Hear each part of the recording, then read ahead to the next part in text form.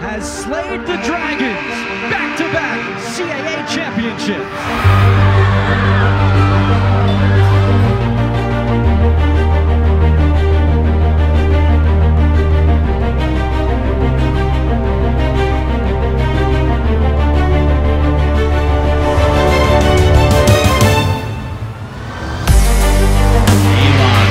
Good to start. They are 4 of 4 from the field.